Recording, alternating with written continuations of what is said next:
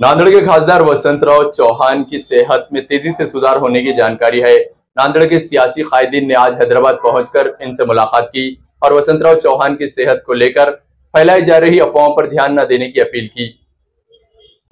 नांदेड़ के खासदार वसंतराव चौहान की सेहत में लगातार सुधार होने की जानकारी है। फ़िलहाल वसंत चौहान हैदराबाद के केम्स हॉस्पिटल में जेर इलाज हैं। आज नांदेड़ के सियासी कायदीन ने हैदराबाद पहुंचकर वसंत चौहान की तीमारदारी की और इनकी सेहत को लेकर अपडेट दिया। इन्होंने बताया कि वसंतराव चौहान की सेहत में लगातार सुधार है और वो जल्द ही ठीक होकर लौटेंगे। इनकी सेहत को लेकर फैलाई जाने वाली किसी भी किस्म की अफवाहों पर ध्यान न देने की बात कही। माजी आमदार ओम प्रकाश पोकरना, माजी महापौर व कांग्रेस शहर अध्यक्ष अब्दुल सत्तार, कांग्रेस अल्पसंख्यक शहर अध्यक्ष अज़ीज़ कुरैशी, अनिल मोरे व अन्य नेता ने वसंतराव चौहान से हॉस्पिटल में मुलाकात की। गेल्या चार दिवसापूर्वी प्रकृतीला अस्वस्थ वाटल्यामुळं पुढील उपचाराकरता त्यांना हैदराबादला शिफ्ट केलं होतं. काल रात्रीपासून आम्ही हैदराबाद आलो आहोत.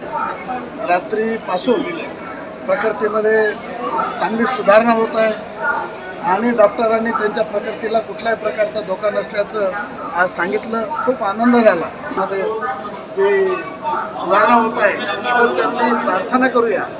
की अत्यंत लवकरात लवकर स्वस्थ इंडिया के खासदार हमारे दोस्त वसंतराव चौहान की चार दिन पहले जो तबीयत खराब हुई थी और उनको हैदराबाद शिफ्ट किए थे दवाखाने में, आज हम रात में देखे हैं अल्लाह के फजल से तबीयत अच्छी है और जिस तरह से युवा जो अफवाह कर रहे हैं, अफवाह में ध्यान मत दो, अल्लाह के फजल से तबीयत अच्छी है और इन जल्द से जल्द अच्छे होंगे और जिस तरह से लोगों के बीच में आके जो काम करने की उनकी काबिलियत है, अल्लाह में उनको शफा देंगे, ऐसी उम्मीद है।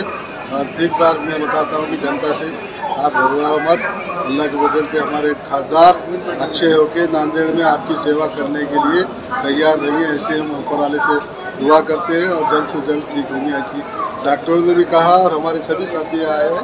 अल्लाह के बदल से हम सभी मिलकर उनके लिए दुआ करें और अल्लाह में जल्द से जल्द शफा दिए ऐसी अल्लाह से दुआ करते हैं। स्टेबल है और खतरे से बाहर है।